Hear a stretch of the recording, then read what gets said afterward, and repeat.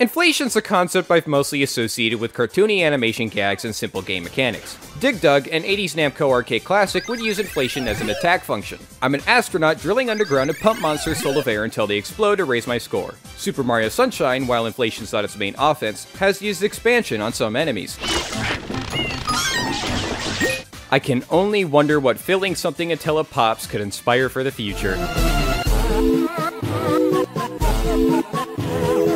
Overused DeviantArt and economic jokes aside, a free RPG game titled Wicked Pump was brought to my attention through a DeviantArt link my friend sent me on Discord. Out of bored impulse, I'd taken the liberty of streaming it amongst my friends, aiming to mock a low-quality fetish game for fun.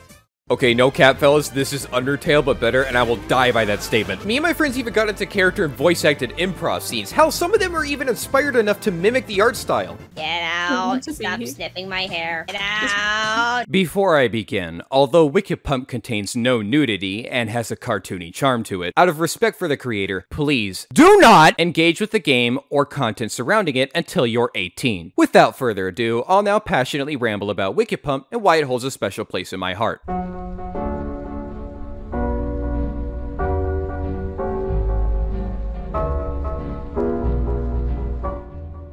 Wicked Pump is made in RPG Maker VX Ace, created by Shameful Radio and written by Matthew22. This isn't to be confused with Wicked Pump the Unity platformer, since it's irrelevant to the RPG. I've looked through Shameful Radio's work on DeviantArt and Pillowfort. There's obvious passion for the characters and the world they've built around them. The art style's mainly cartoony, but more intense imagery is clearly not unfamiliar to them. There's not much lore you'll learn through the art's descriptions as you'd see visually. Personally, I appreciate vague details that shroud art in mystery, allowing room for creative imagination. Unfortunately, Shameful Radio's on hiatus with no activity since March 24, 2021. I said this four months ago, and they posted on DeviantArt April 19th, so I guess they're no longer on hiatus? Neat.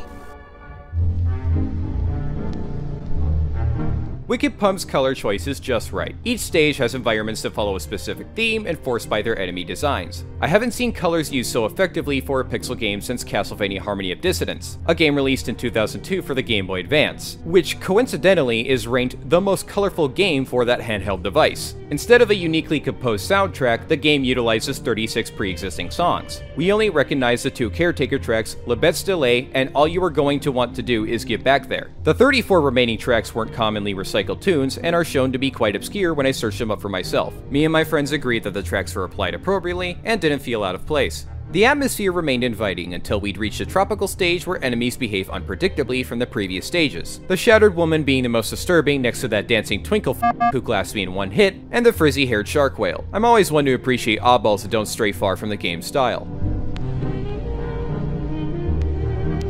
In typical RPG fashion, our party has abilities unique to each member. Umnia has Wickedness, Lauma has Nature Power, and Las Vegas has Demonic Zap.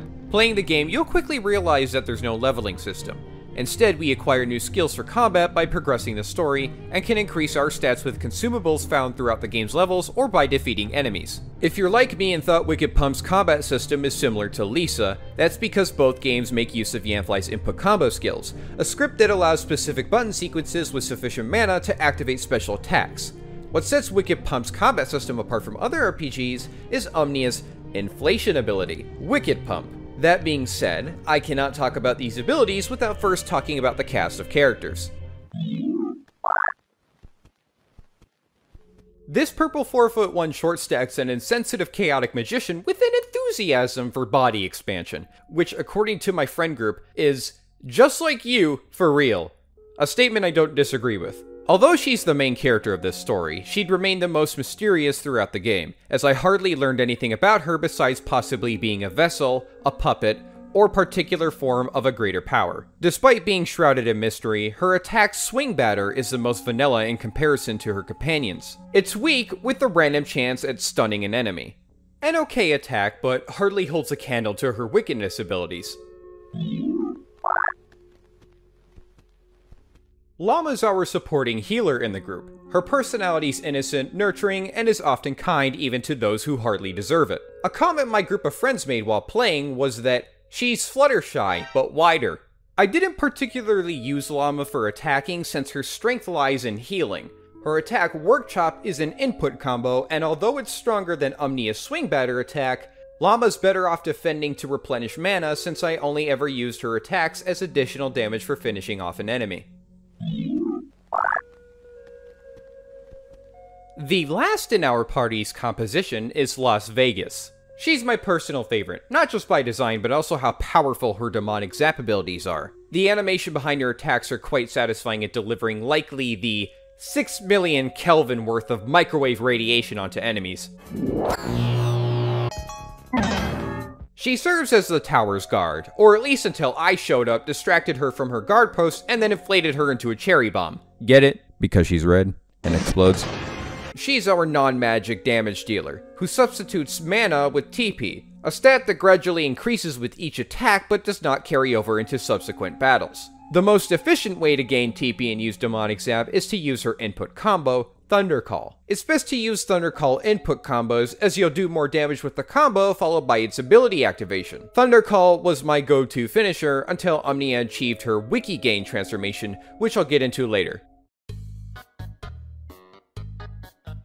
As we progress the game, our party gains additional skills. Umnia learns Wiki Gain and Wiki Bloat as additional transformations similar to our base transformation Wikiflate. Lauma learns nature power skills that could heal or resurrect her companions, allowing me to save on consumables. And Las Vegas learns demonic zap abilities with higher damage output. Oddly enough, some of these attacks seem fit for AoE. If some of these attacks were originally intended to damage multiple enemies at once, I'd believe it. However, we never see that since it's always 1v3s with no multiple mob engagements. Near the end of the game, all three characters achieve their super attacks. Umnia's Blind Home Run, Lauma's Grand Axe, and Las Vegas Maroon Beam. I rarely use these super attacks as their cost wasn't worth waiting for. The enemies I was dealing with by now were quite powerful and were best defeated through Umnia's Wiki Gain transformation. Umnia's Wiki Gain transformation does cost all of her mana, but because I'd hoarded so many consumables in my playthrough, the term supply shortage didn't exist anymore, so I game ended enemies with ease.